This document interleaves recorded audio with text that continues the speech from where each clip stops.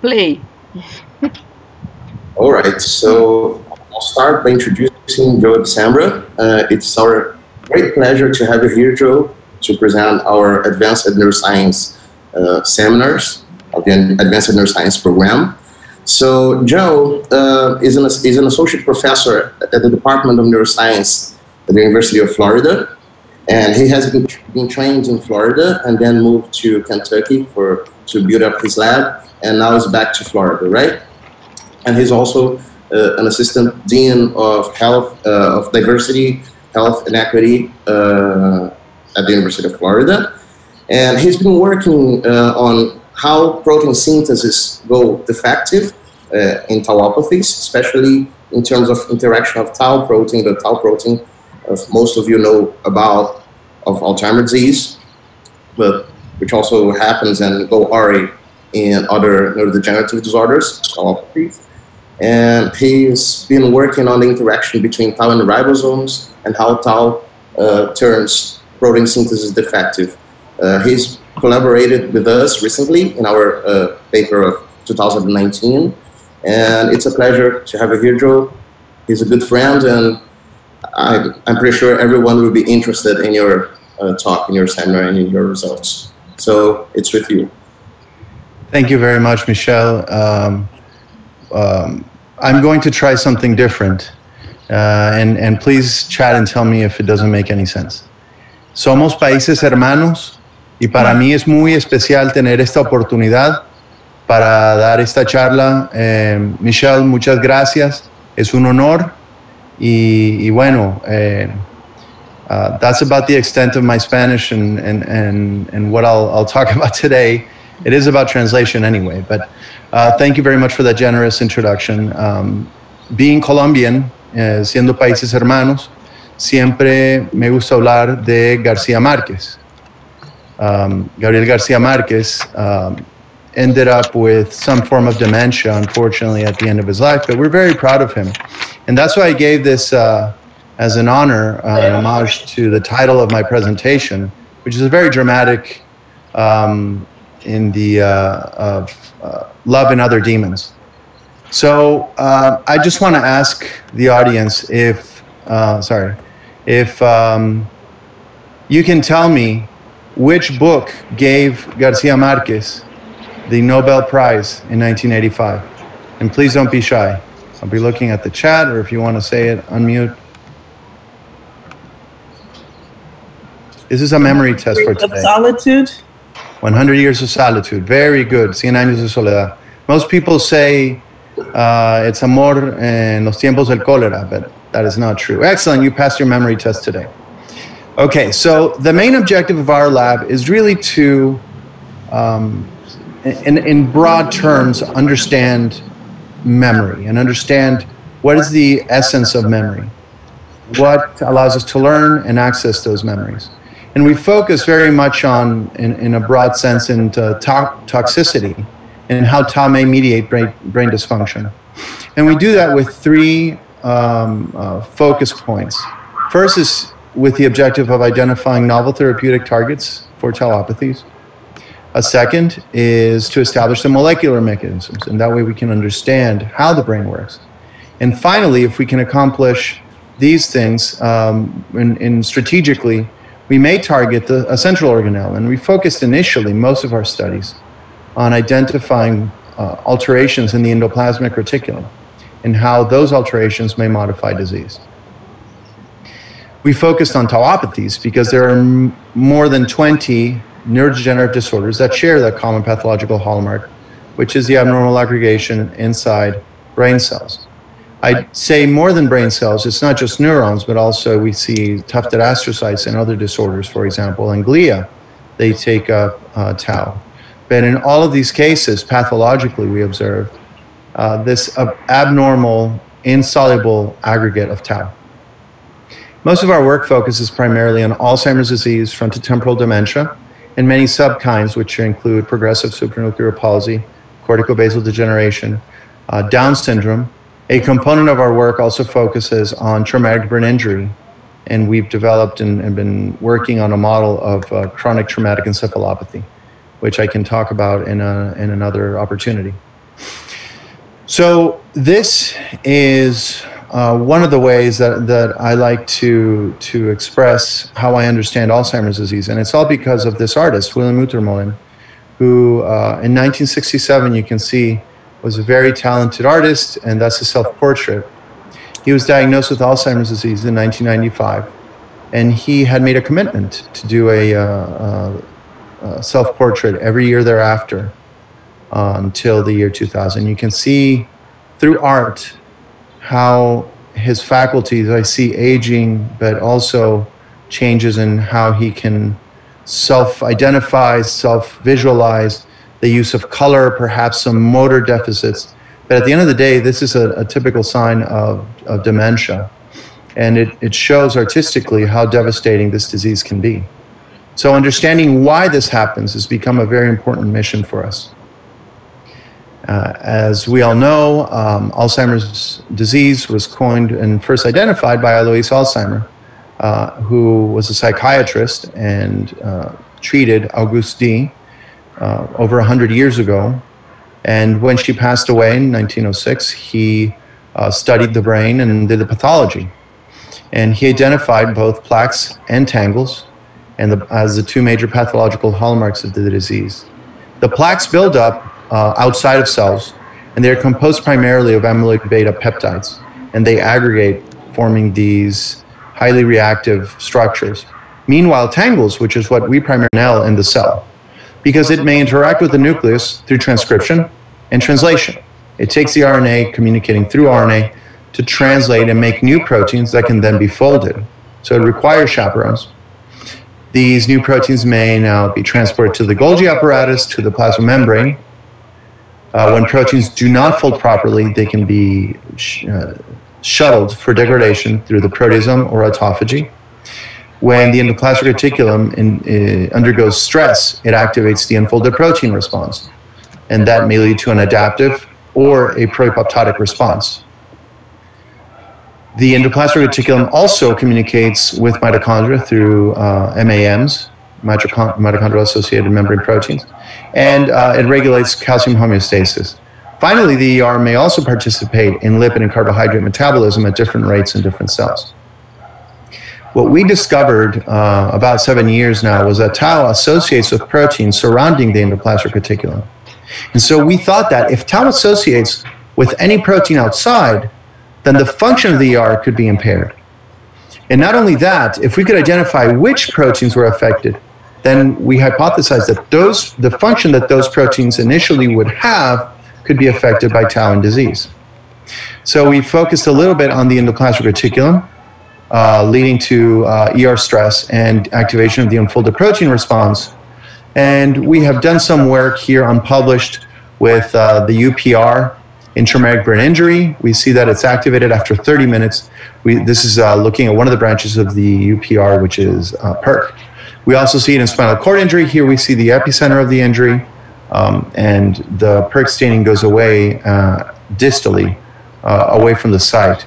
We've also established that the UPR, and this was the paper uh, seven years ago now, showing that tau accumulation activates the UPR. And we've also done some work in Down syndrome indicating that the, um, the dynamics of ER stress are certainly more sensitive uh, in Down syndrome brains.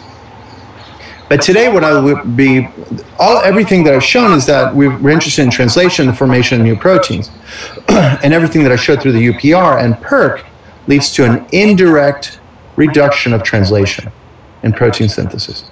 But here today, I'm going to talk about primarily our data uh, showing that there is a direct suppression of translation because of pathological tau. So, uh, just to revisit a little bit of what we've done. Uh, we identified that in human Alzheimer's brains, and these are late stage Alzheimer's disease, when we do a co-immunofluorescence stain for PHF1, which is a pathological hyperphosphorylated conformer of tau, uh, and co-stain with an ER protein, calnexin, which rests on the outside of the ER membrane, we see partial colocalization. Uh, and I'm just uh, real quick. Can you see the mouse? Yes, we can. Excellent, thank you. So here we see that there's partial colocalization, suggesting that tau associates with the outside of the endoplasmic reticulum. So here we're corroborating our work that we had published uh, a few years ago, and this is in Alzheimer's brains. Uh, so to establish which proteins associated with tau on the endoplasmic reticulum, uh, we uh, obtained brains from the University of Kentucky um, biobank. And uh, we had Alzheimer's disease and controls, and we purified uh, endoplasmic reticulum with a simple sucrose gradient subcellular fractionation. We isolated microsomes, and then we did co-immunoprecipitation assays using uh, antibodies against actin or tau in these uh, microsomes uh, or ER uh, enriched frac- fractions of Alzheimer's and control brains. We then ran them on a gel stained for Coomassie, cut the bands, and sent them for mass spectrometry. And we did this with two different antibodies one with tau 5, which recognizes a region on the inside of the protein. But we also wanted to use a different antibody that picked up the carboxy terminus to make sure that whatever we were picking up was uh, mature tau, not just tau that was being translated. To our surprise, in, in these two papers, the largest slice of these pies had to do with proteins that associated with tau and were involved in RNA translation.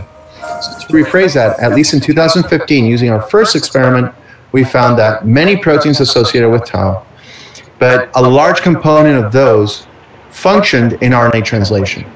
And in our follow up work, we identified that in Alzheimer's disease brains in particular, many of, the, of these RNA binding proteins uh, were much more robustly associating with tau in Alzheimer's disease compared to the controls. So not only were they different, but there were many, many more that associated with tau disease.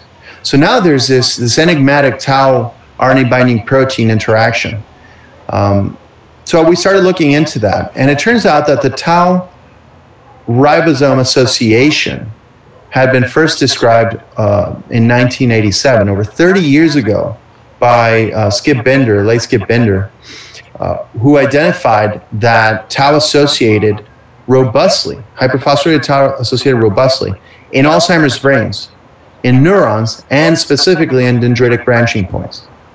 Since then, there have been many papers suggesting that there is a pathological relationship between tau and ribosomes.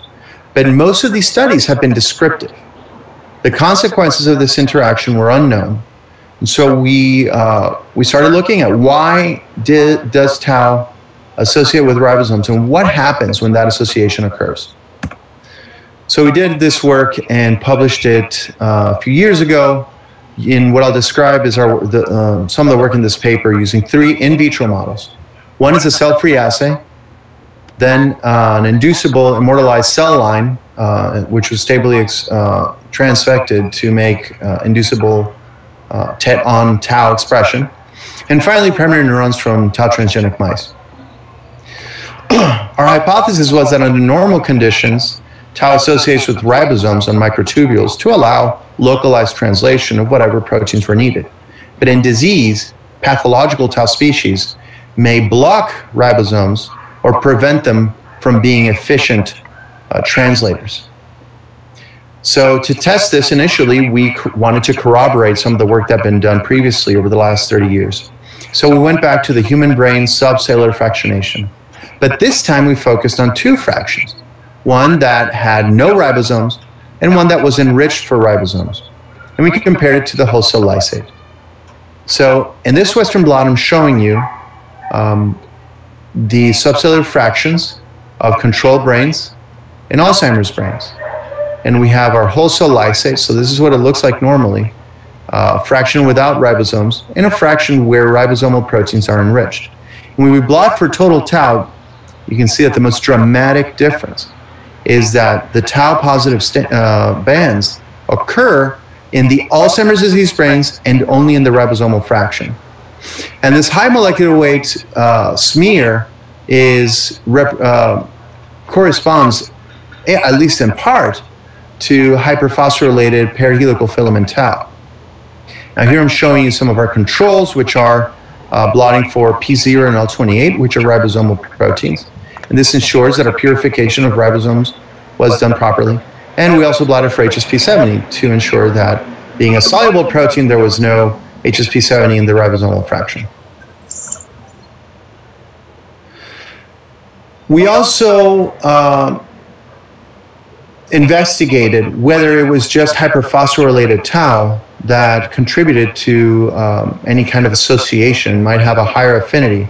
And so we focused on these very soluble toxic tau oligomers, uh, here stained in red with the antibody T22.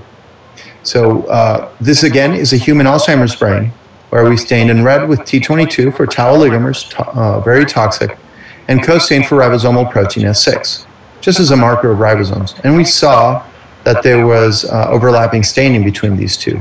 Once again, suggesting that there is a proximity, at least, of the T22 tau oligomer uh, protein and ribosomal proteins. So, to establish whether the ribosome tau interaction affected translation, we did a cell free in vitro translation assay. And what's really, um, it's a really clean and elegant experiment because all we have is a machinery to make proteins. That is to say, ribosomes, tRNA, initiation factors, elongation factors, ATP, etc. And we can add then GFP plasmid so that it can make new proteins and that will glow. And we can measure that with uh, uh, over six hours at 30 degrees with a 96 well plate reader. Um, and so in each well, we added different uh, types of proteins. And here are the data. In panel A, I'm showing you the readout of GFP in wells that were incubated with all the machinery necessary for translation and BSA. So that's our control. But in those that we added tau oligomers, recombinant tau oligomers, we found uh, a 40% reduction in the amount of GFP that was uh, uh, evident, uh, evident. And you can see the curve is um, reduced early on in, in the readout. So translation efficiency is certainly reduced. But then to establish whether or not this is the consequence of an oligomeric conformation or tau oligomers more specifically, we did the same experiment using alpha synuclein oligomers and insulin uh, oligomers, and we found no significant difference in the curve for GFP uh, compared to BSA. So these data suggest in a cell-free environment, tau may associate, tau oligomers may associate with ribosomes, and that in turn reduces the ability of these ribosomes to make new protein. So then we took it to an immortalized cell line, and we used an inducible HEK tau line. Now these cells uh, we developed in, in my, uh, my former lab as a postdoc in Chad Dickey's lab, uh, where we added tetracycline. Uh, you can see, and it's a TET-on system. So when you add tetracycline, uh, after 24 hours, you see robust expression of tau, and this increases over time over the course of four days. So now, by adding tetracycline, we can tell the cell when to start and when to stop making uh, tau. And we couple the use of these cells with a technique called sunset. This is also known as surfing, surface sensing of translation, so it stands for. And it's essentially based on the principle that puromycin is uh, structurally analogous to transfer RNA, tRNA. So we add simply puromycin to our to the media of the cells. Puromycin uh, associates with uh, ribosomes to tag new proteins. And so any new protein being made at the time when we add puromycin will have a puromycin tag on it. So now we know which proteins are new. And we can detect that with uh, antibodies against puromycin. So here's our experiment. We have our inducible HEK cells. We added tetracycline uh, over the course of three days.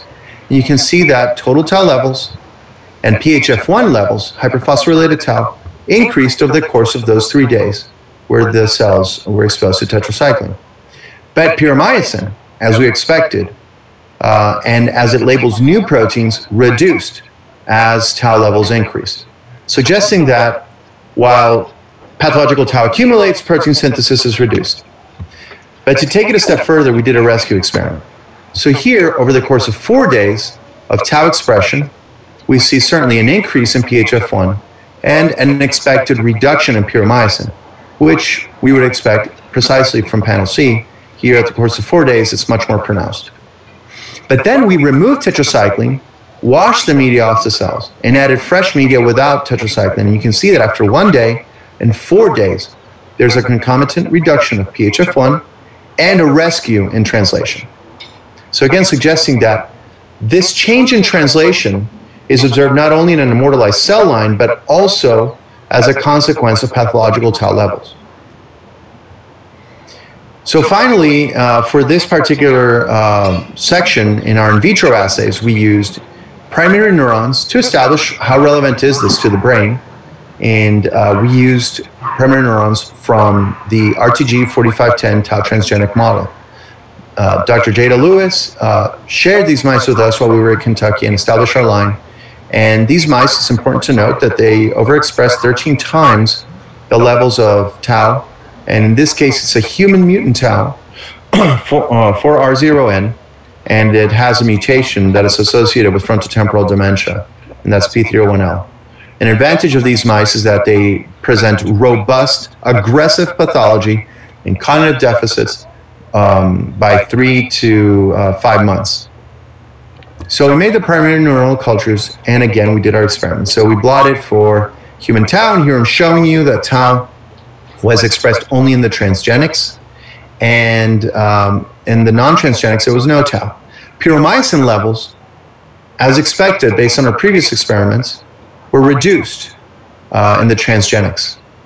And one of the proteins that we measured uh, that were that represents uh, at least one element of synaptic function is PSD95, and the levels of PSD95 were reduced in these mice. It could be because of reduction in translation but it might be because there's a change in transcription. So to test that, here I have the quantification of puromycin reduced in the uh, transgenic neurons and PSD95 levels reduced. But then is it a matter of, of transcription? So we did RT-PCR to measure changes in, uh, tr in um, transcription of PSD95, and we saw that there was a uh, two and a half fold increase in RNA for PSD95 in the transgenic cells. So in other words, there's more RNA of PS, for PSD95 and less protein. So again, suggesting that there's a block eh, or a reduction in translation. Okay. So at least in vitro, I've shown you that indeed the uh, accumulation of pathological tau species, whether it's oligomeric and dephosphorylated or hyperphosphorylated, uh, impacts the ribosome in a way that reduces its ability to make new proteins. But then we didn't know if the same effect would happen in vivo. Certainly, the brain is much more complex than cells in culture. So we went back to the RTG 4510 mice. And here I want to mention that uh, Jada, who was one of the co creators of the mice, had astutely introduced a, uh, a system to suppress tau expression. And in this case, it's using a TET off system. In other words, we can feed doxycycline or tetracycline to the mice, and they will stop making tau. Um, to a word to the uh, graduate students and postdocs, if you're stubborn enough, I think you can get things done in the lab. And this is an argument that I had with a graduate student in the lab, uh, Shelby Meyer, very talented, and she said, well, Joe, if we inject puromycin to do the sunset experiment in the brain, uh, if we do it IP, it'll work. And this is a big challenge because we wanted to do sunset in vivo, and we kept injecting it um, in the brain directly, and the results were just too inconsistent. So I was ready to give up on this, and she insisted, well, let's just inject IP. And after a long conversation of an hour, I gave up. I said, fine, do it. And she did it. And sure enough, she found that puromycin stained neurons after one hour of injection. And here we found that at five months, there was a reduction that was much more pronounced at seven months. Here we have our non transgenics and our transgenics. But when we did the quantification, we found that this difference in puromycin signal was only statistically significant at seven months. So, whatever we observed in the cells, this reduction in translation occurred late in the 4510s. Now, this was perplexing because at this stage, the mice are, are really sick. They really are cognitively impaired. And what we're more interested is what's happening in the early stage of the, uh, uh, stages of the disease. And as I mentioned, one of the important features of the mice is that they develop aggressive pathology and cognitive impairment by five months. So now we investigated well, maybe it's not just suppression of translation, is there a shift of translation? Maybe some proteins are reduced early on and others might be increased. So to test that, we um, uh, took under consideration the careful steps in the, in the pathology before five months of age in these mice. And here uh, I'm showing you the tau expression is driven by the CAMK2 alpha promoter. So tau is only expressed in forebrain neurons, and it happens after birth. So tau's ex expression occurs between two and three weeks, although it's important to note that it's a leaky promoter, so some of it is made earlier on. Uh, pathology, you can start observing it by two and a half months, some early stages, uh, pre-tangle uh, aggregates. By um, about four and a half months, there is substantial cognitive impairment. Uh, neural deficits can appear by three to four months, uh, and there's substantial, substantial atrophy by five months. So here we use a control which was suppressing tau expression by uh, at this stage. And in doing so, we would have a good control of, well, tau's expressed, but it stops. And now the mice, we know from the paper in 2005 in Science that Jada published that the, um, the cognitive impairment was rescued. So now we have a nice control at the same age, there's no effective aging. And we did puromycin in vivo uh, proteomics. So we injected puromycin, we took half the brain for a microarray, and that way we could establish a baseline for RNA. And then we uh, did the puromycin which we could pull down and do mass spectrometry to identify any new protein that's made during that hour of injection. This is to show that our doxycycline treatment reduced tau levels by 50%. And here are the results of the microarray. This is just telling us what's happening at the RNA level.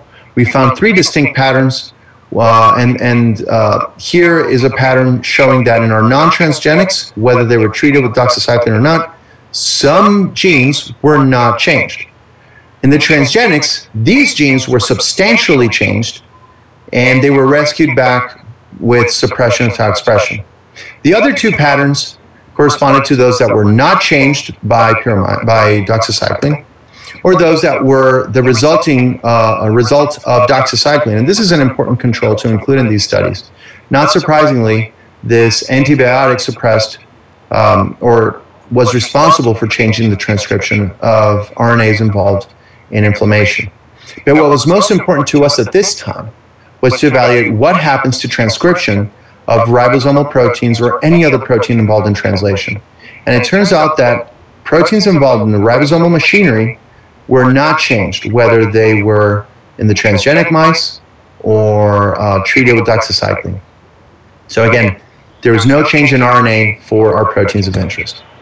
So again, we pulled down puromycin on the contralateral brain, did mass spectrometry, and identified uh, uh, a series of changes in the types of proteins that we can detect. So for example, we found no differences in the non-transgenic samples, whether treated with doxycycline or not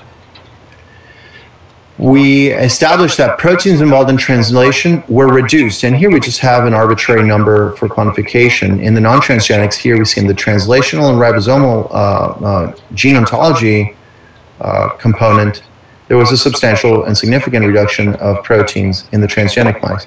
But when we treated those with doxycycline and suppressed tau expression, we found a, um, that it, there was a rescue in the synthesis of these proteins in the translation of these proteins that are involved in more translation. So the whole machinery uh, can be uh, sensitive to the expression of pathological tau and maybe the accumulation of pathological tau. So we focused on this uh, ribosomal protein S6 next because of the basic biology of this protein. It is a major regulator of translation. Simply put, when S6 is phosphorylated, it serves as a gatekeeper to establish which RNAs will be translated.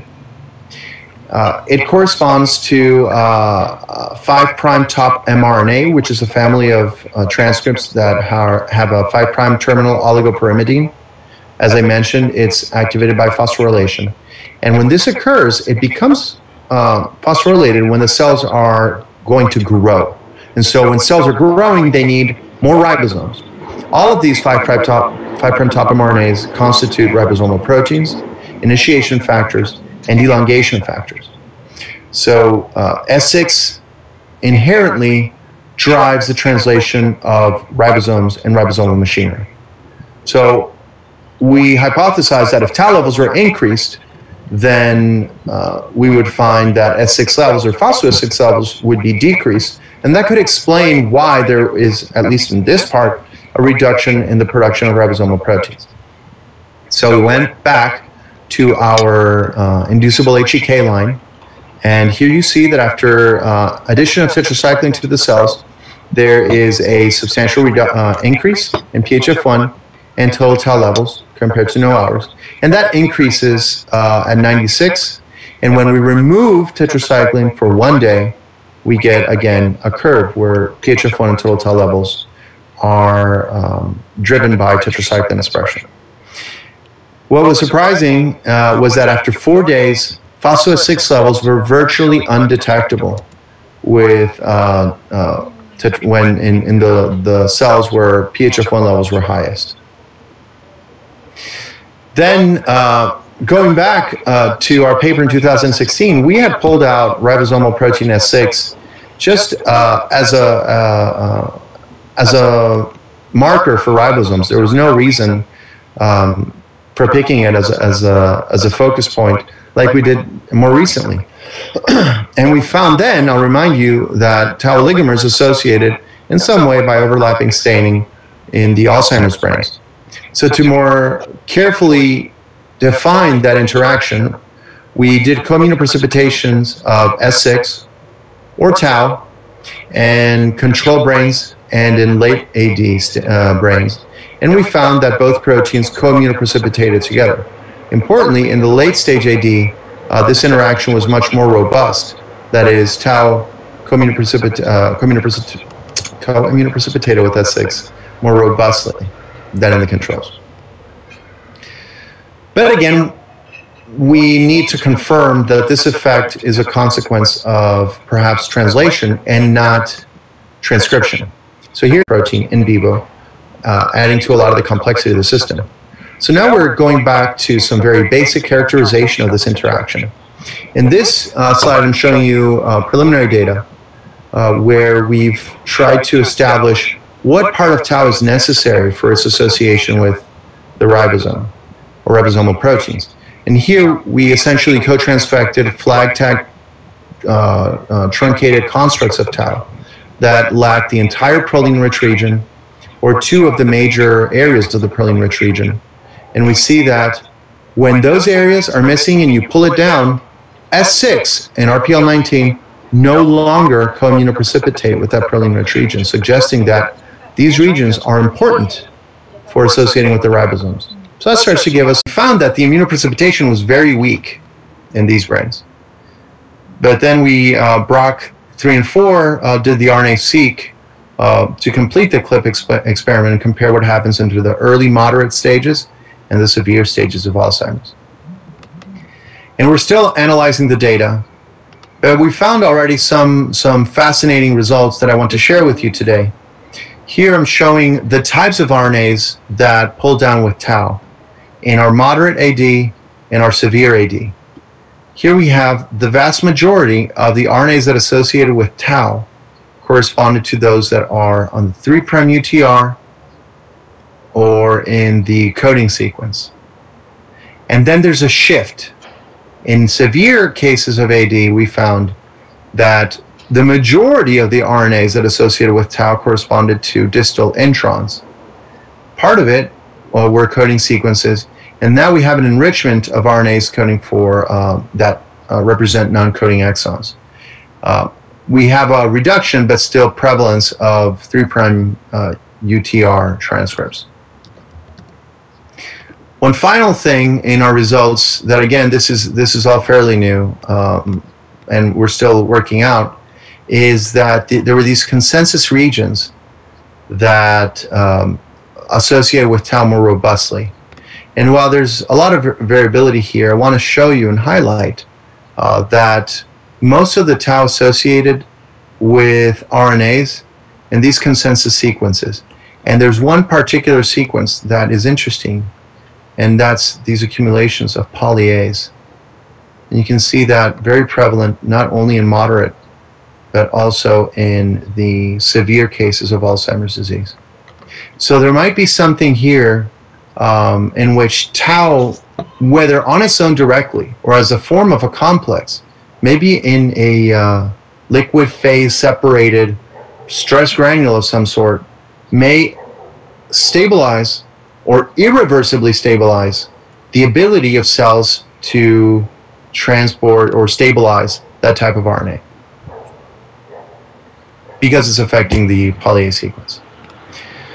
So to conclude, um, i have shown you data, and this is just to summarize that, at least in vitro, we found that tau associates with the ribosomal complex and reduces their ability to make polypeptides. But at least in vivo, uh, the, the picture is much more complex. We don't know if it's interaction with RNA specifically, with messenger RNAs, with tRNAs, uh, or the ribosome, or just bringing it all as a, as a complex. But the outcomes are quite different because what we find is some level of selectivity uh, that is shifted. In other words, some transcripts will be translated and others are not. And this is just to, to put it down on and take home bullets. Uh, tau associates with endoplasmic reticulum proteins, and that's what I showed at the beginning of the talk. The most common are factors that regulate translation. I showed that pathological tau interferes with ribosomal function and thereby reduces synthesis of ribosomal proteins. Uh, I showed that this phenomenon occurs in Alzheimer's, where tau engages with S6, and that S6's function by phosphorylation uh, appears to be reduced. Um, in vivo, pathological tau shifts not only the transcriptome, but also the translatome. And so th this is important to, to, to establish whether the changes that we observe are a consequence of more RNA, RNA abundance. And then finally, studies to identify the proteins altered in, these, uh, uh, in the tau ribosome complex um, are, we're working on, and I showed you some of those early results. Uh, I want to thank all the people that were essential to make these uh, experiments. A lot of this work started at the University of Kentucky with Shelby, um, and now in Florida, followed up by Sean Coren. Uh, Shelby graduated, and uh, so I should have put a PhD there. Uh, she's now doing a postdoc at Vanderbilt. Sean moved and he's applying for medical student uh, school. He's at the University of Rochester. Matt is a postdoc in the lab who uh, uh, helped finish up a lot of the studies for our last paper. Uh, and here uh, we received the mice from Jada Lewis.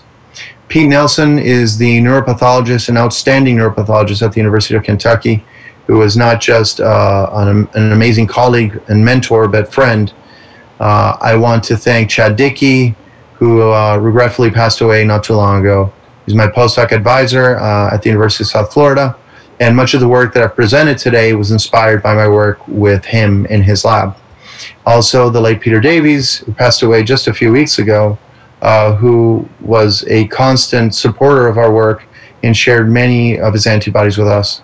Rakesh Kayed shared not only the uh, T22 antibody, but also many uh, uh, uh, recombinant proteins.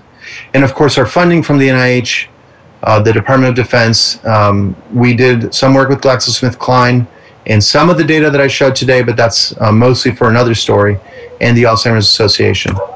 And um, here's a lab, which is uh, now changed a little bit. We have new new members like John, who's not here in this picture, and I need to update it. And so I'll just leave us with this uh, message from Garcia Marquez uh, that this perhaps is not the first time, it won't be the last time that we're quarantined or forced to stay in a ship um, because of um, any disorder, disease, infectious disease like cholera. Uh, thank you very much.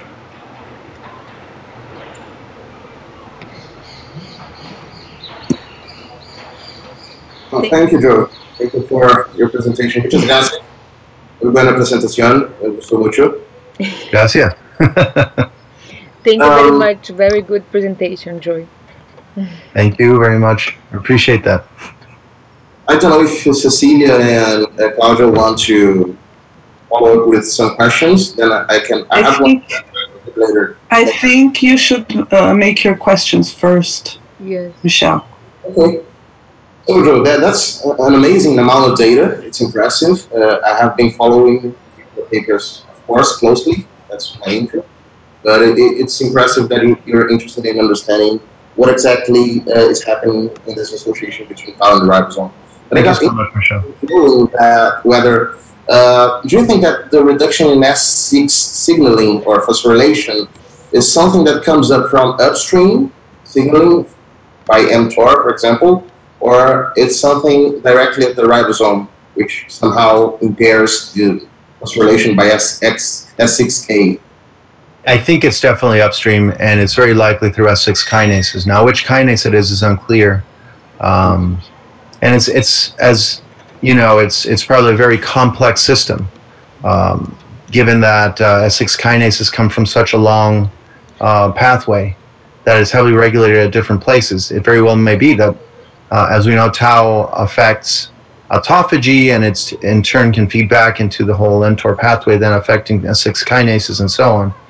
Uh, what we're finding, at least in, in our work, is just the fact that S6 is not as phosphorylated.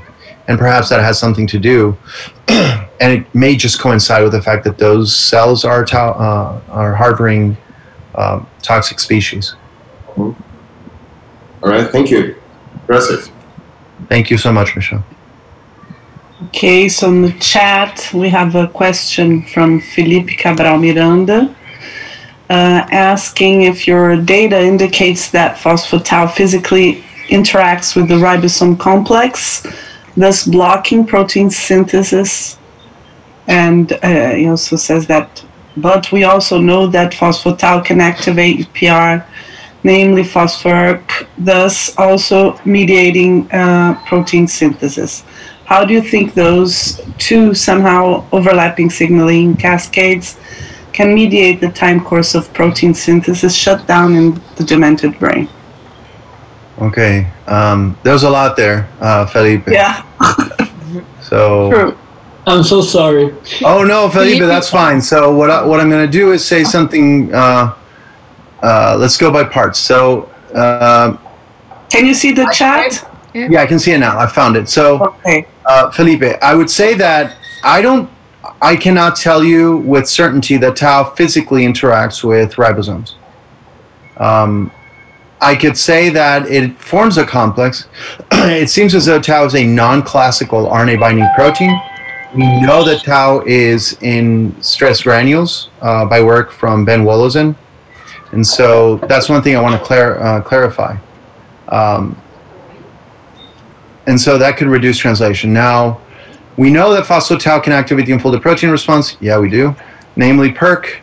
And so mediating protein synthesis. That's correct. Um, so the, the question you ask is, is well put. Is does tau affect translation directly through the ribosome and RNA or indirectly through PERK? Exactly. Because your data indicates that it happens both ways, right? Mhm.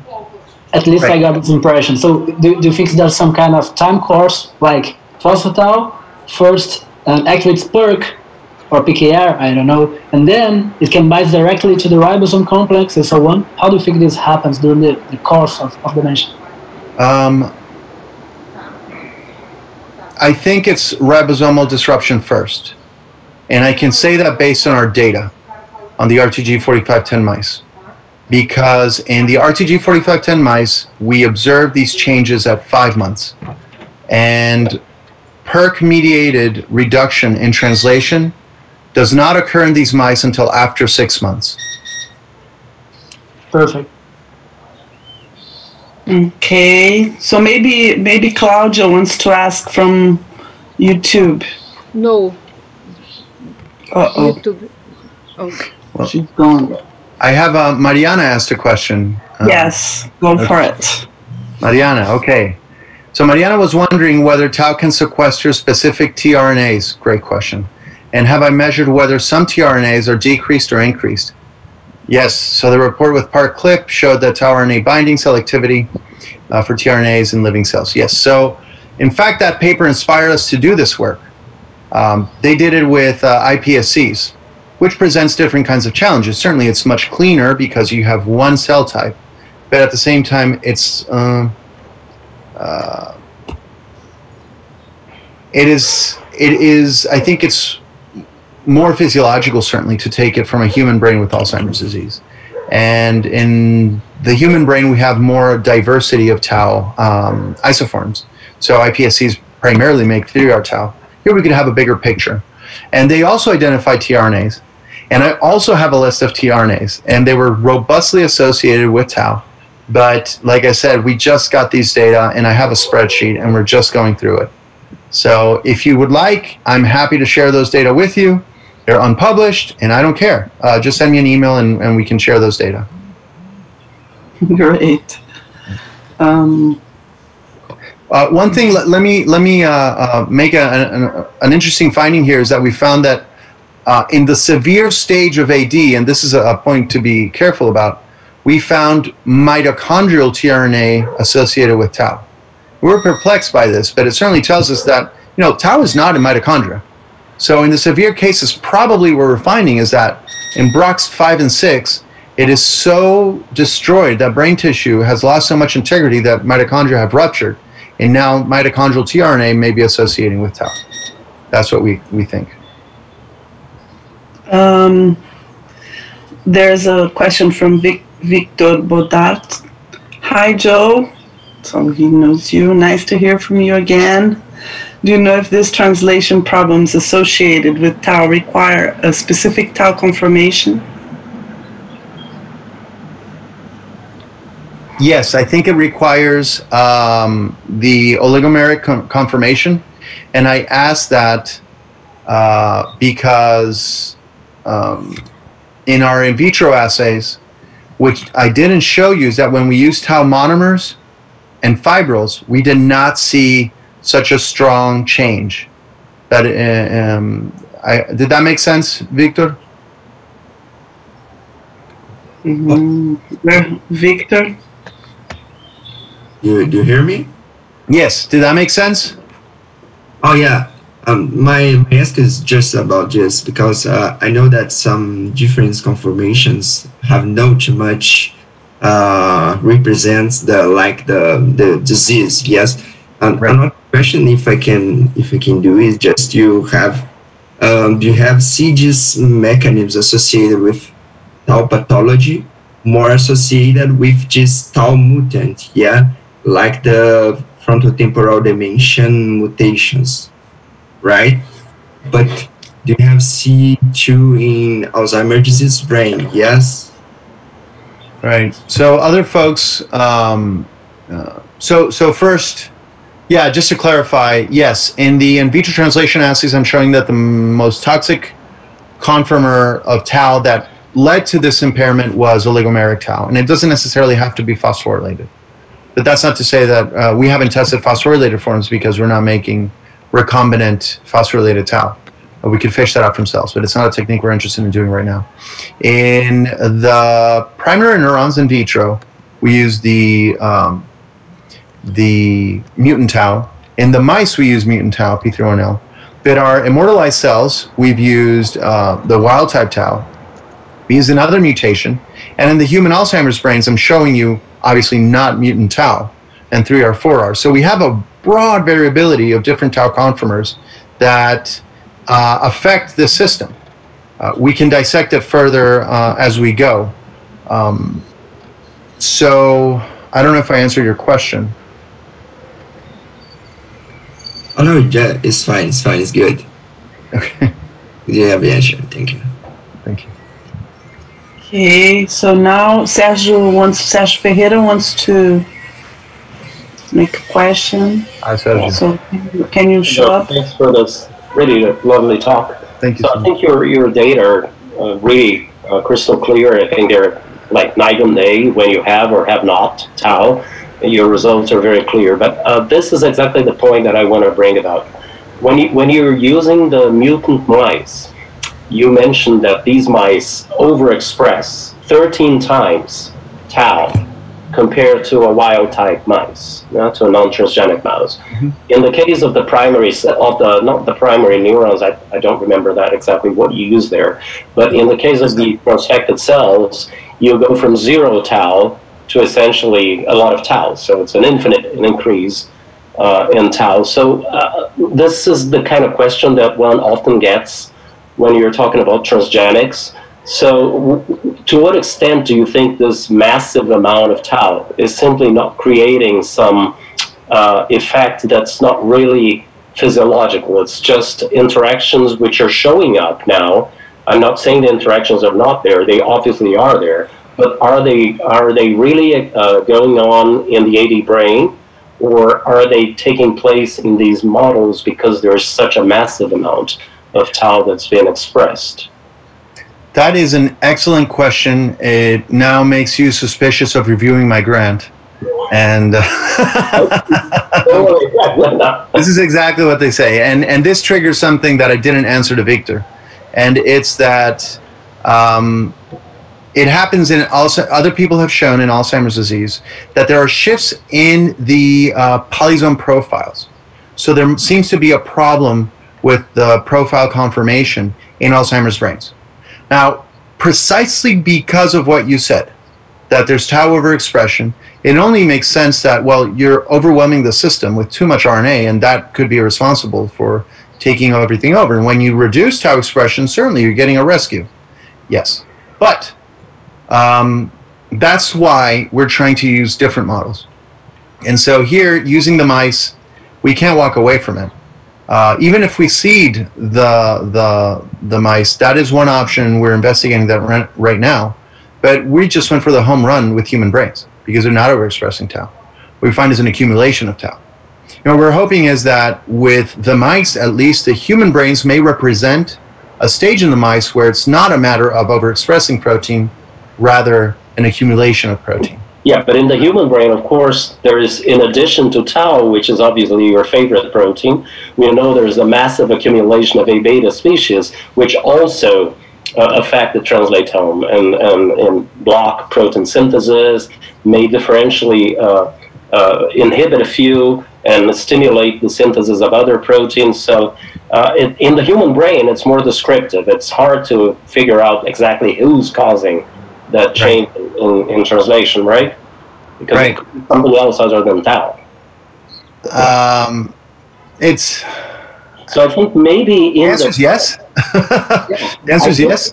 What I was thinking is that maybe in the mice, what you would need would be to show that even without reducing the total uh, RNA load uh, and, and inducing a rescue by virtue of reducing total RNA, maybe what you need is really to block the interaction between tau and your key target protein. If it's S6, then really that, that should be one of the focus. I mean, fi- figuring out if you can design a peptide, for example, that will block that interaction and rescue the phenotype.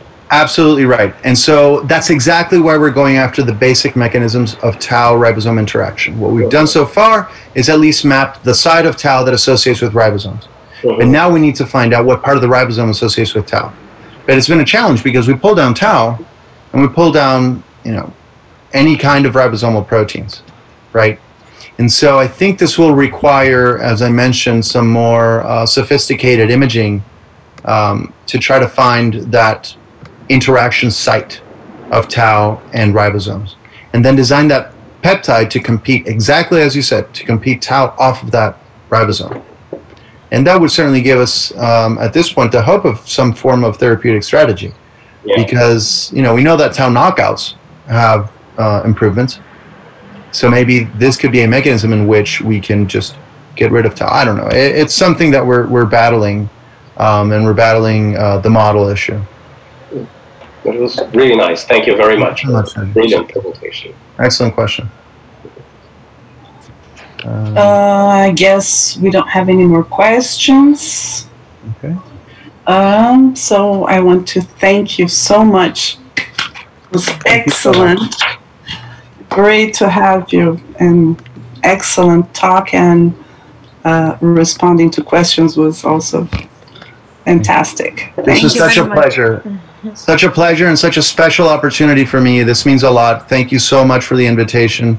And, and I hope we get to see you soon um, en una conferencia o en Rio, en Colombia o en la Florida.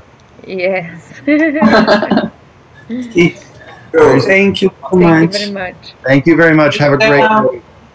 Michelle Uh, can do his closing words there. Yeah, I I just have to thank Joe because it was awesome. It was impressive to have your talk here, and I hope we can meet soon. Of course, I hope this pandemic goes over and we're able to attend conferences and invite you to come to Rio for a presidential seminar here. That would be wonderful. Um, not during the World Cup qualifier, but yes, I'll, I'll go another time.